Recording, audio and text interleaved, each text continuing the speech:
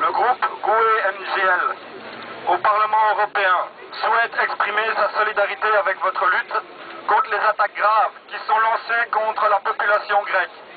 Malheureusement, nous ne pouvons pas être avec vous aujourd'hui puisque le Parlement européen se réunit à Strasbourg cette semaine. Mensonges et diffamations sur le niveau de vie, les salaires, les pensions et les conditions de travail de la majorité de la population grecque sont colportés afin d'obtenir le soutien pour des mesures d'austérité draconiennes.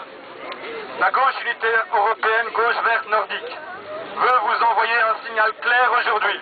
Vous, travailleurs, retraités, jeunes et chômeurs, ne devriez pas et n'avez pas à payer pour une crise que vous n'avez pas créée.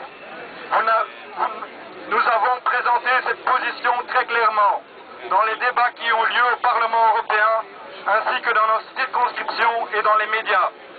Le peuple grec, en particulier les travailleurs et les employés dans le secteur public et privé, sont en première ligne des attaques. Mais ce n'est pas seulement vrai pour la Grèce. Des réductions importantes ont également été annoncées et seront mises en œuvre au Portugal, en Espagne et en Irlande. D'autres pays suivront.